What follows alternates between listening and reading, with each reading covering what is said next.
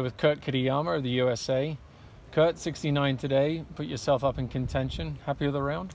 Yeah, definitely. Um, the pins were definitely in some harder spots, so today felt felt like a really good round.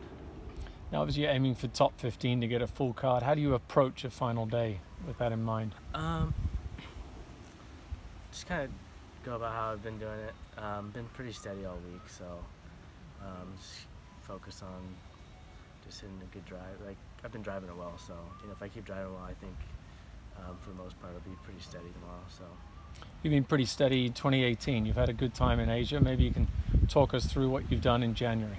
um, I think the main thing this year is I've been driving a lot better than I have in like the last couple years, um, and not scrambling off the tee has made it just so much easier. Um, I mean, over here also when you play preferred lies, it gives you a better, um, just easier to play. I think you know if you're off the green, um, getting a good lie to chip makes it easier. Um, but I think overall from this year, the difference has been my driving. And nice start to January. You started off in Thailand. You earned yourself Asian Tour card. Uh, yeah, um, that was good.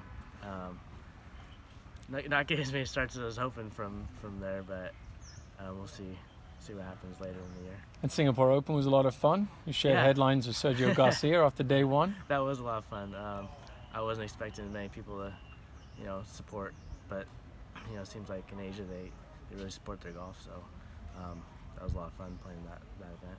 And then last week, a, a breakthrough, your, your first pro win in Malaysia.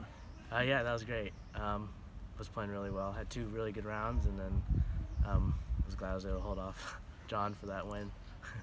All right, well, best of luck this weekend and hopefully see you tomorrow. Thank you.